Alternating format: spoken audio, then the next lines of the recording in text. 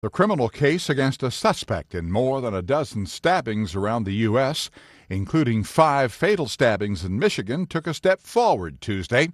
A preliminary hearing was held in Flint, Michigan, for Elias Abuelazam, a 33 year old Israeli citizen who was arrested just under three weeks ago in Atlanta while trying to catch a flight to Israel.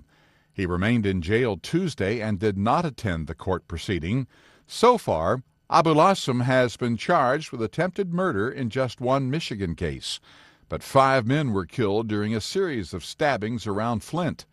And the local prosecutor says he expects more charges to be filed against Abuelazam in the next few weeks. This is moving forward towards what we intend to be a conviction uh, for this person who created havoc all across our community and really in three states. So uh, this is the next step. Meanwhile, the defense attorney has received nearly 200 pages and a CD as evidence in the attempted murder case, but he said he should have gotten it more quickly. I'm a little disappointed that I didn't get discovery sooner.